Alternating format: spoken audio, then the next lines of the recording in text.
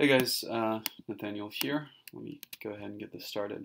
Uh, so we're going to be using the pair plot today. This is probably the most powerful of all of the um, Seaborn tools that I've used. Perhaps not most powerful, but most uh, ubiquitous of these tools. I, I, use this literally on every single data set that I examine. Uh, we're going to be using the iris dataset this time instead of the TIPS dataset. The iris dataset has flowers uh, as well as uh, a couple of their features. So let's go ahead and show these bad boys. Okay, so the features that we're going to be examining, we've got four, petal width, petal length, sepal width, and sepal length. Uh, so these are aspects of flower. Um, and you notice it plots their joint distributions as well as their marginal distributions. Uh, the joint distributions are, of course, on the, uh, I guess, uh, triangles of this matrix.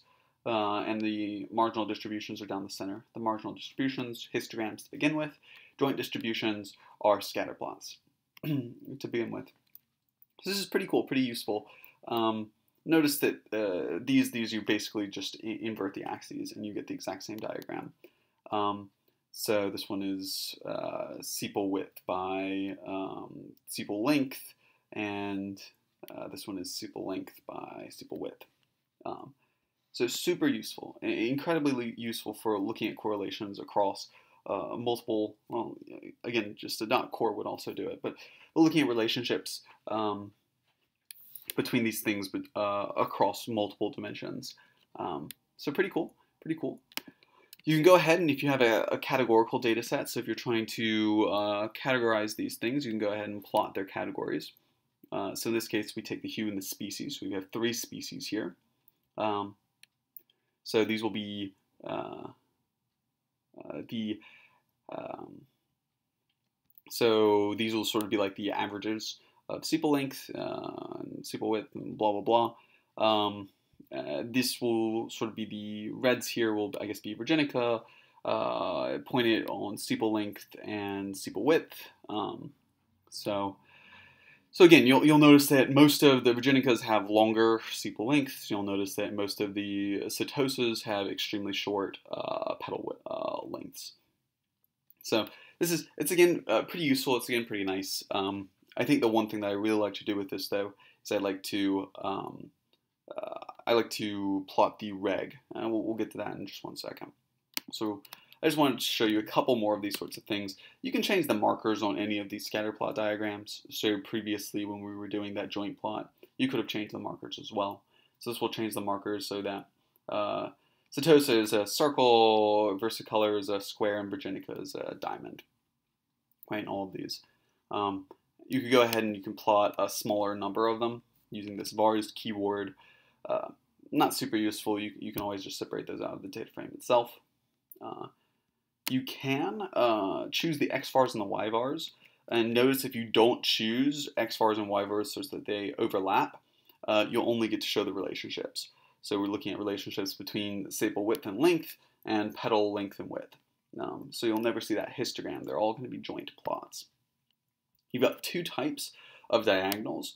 Uh, diagonal 1 is the histogram, diagonal 2 is the KDE, which I'll show you in just one second and you have two types of uh, joints.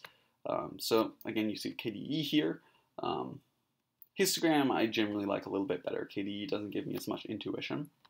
Uh, the regression, super cool. Um, I may as well get this final uh, plot started right after this one because it will take a while. So in this type, well, what you're going to be seeing is that on each of these joint plots, we go ahead and we plot a regression. Um, uh, not only do we plot the regression, but we do uh, confidence intervals around this regression, which is like super, super cool. Um, so, uh, so there you go. So you can look at relationships between these guys. Uh, again, this is not incredibly useful, but uh, petal length to petal width, notice that the relationship is extremely strong. Um, okay, and then you can plot the relationships across uh, different hues, in this case, across different categories. Um, so for example, you can look at petal length. Um, uh, it, it's extremely clustered in this case. The one that has the like biggest, strongest relationship between petal length and petal width seems to see the versicolor. Um, again, if you plot the KDE, you get to see all of these KDEs. Um, so this is to show you a ton of information all in one chart. Um, I use these almost every time I have uh, a couple of dimensions. You need to uh, simmer it down. Once it gets more than 5 by 5 it starts to become a little bit confusing, a little bit overwhelming. 4 by 4 looks nicest. Um, uh, 3 by 3 and 2 by 2 are both fine as well, but you know, you can, if for 2 by 2 you may as well be doing a joint plot. Um, so, so this is super cool. Uh, I use this all the time. There's not a lot of weird parts to this. The weird parts come a little bit later on. You can do a lot of funky stuff if you're doing a facet grid, um, which we'll be getting to probably right at the end of these sort of tutorials. So facet grid will allow you to do all this sort of stuff that we've done right here with these pair plots and more, but it's a little bit more confusing how it works. So this is pair plot. I Hope you guys learned something, and thanks again. Always a pleasure.